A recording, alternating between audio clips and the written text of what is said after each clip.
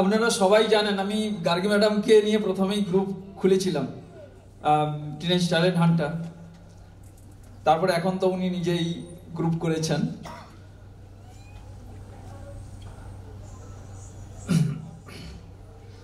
কে, সে তো মাপ তুলে দেবে নাকি? গার্গী ম্যাডামের হাতে?